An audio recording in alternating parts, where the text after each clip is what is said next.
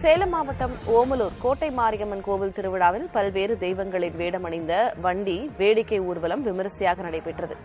விதவிதமான கடவுள் வேடமணிந்து அடுத்தடுத்து வந்த வண்டிகளை பொதுமக்கள் கண்டு ரசித்தனா்